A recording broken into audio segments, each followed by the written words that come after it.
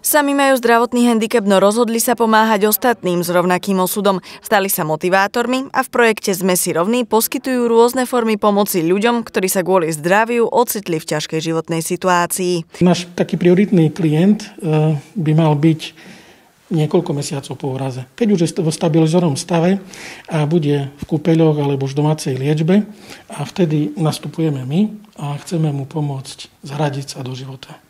Klientom vedia pomôcť najmä na základe vlastnej skúsenosti. Niektorí motivátori žijú so zdravotným handicapom celý život, iní k nemu prišli pred niekoľkými rokmi. Sami si teda museli prejsť celým procesom, naučiť sa žiť nový život a začleniť sa opäť do spoločnosti. Ich vlastné skúsenosti posúvajú druhých vpred. Mám klienta, ktorý e, po skoku do vody ostal veľmi ťažko postihnutý. Je tam veľký deficit aj v tom, že jemná motorika absolútne chýba No ale tento klient sa vôbec nevzdal, pracuje, teda podniká a šoferuje, proste naozaj som bol s neho prekvapený. Prvorady je ten klient, ktorý príde za mnou s tým, že má nejaký cieľ, niečo, čo by chcel dosiahnuť. E, a ja e, ako motivátorka ho vediem k tomu cieľu e, a nejako ho korigujem, aby to bolo v pohode, aby klient sa aj veľmi nevyčerpal a aby bol spokojný s tým, že ako je jeho cieľ naplnený.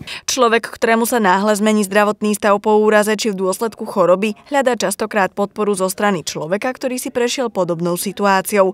Motivátori sú pre nich príkladom, že aj s handicapom sa dá žiť plnohodnotný život. Človek, ktorý je krátko po úraze, nerieši alebo neriešil, že čo sa môže prihodiť, ak sa ocitne v takejto situácii a vtedy vlastne akoby vstúpil do iného sveta, pretože radikálne sa pre neho všetko mení.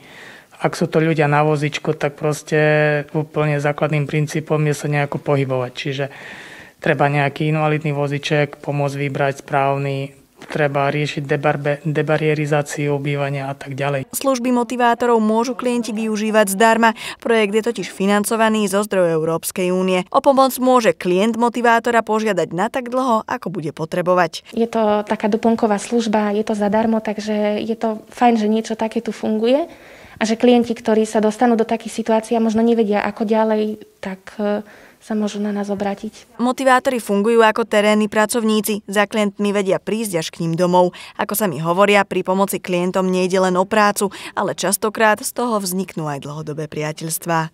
Barbara Šalžian, Telke.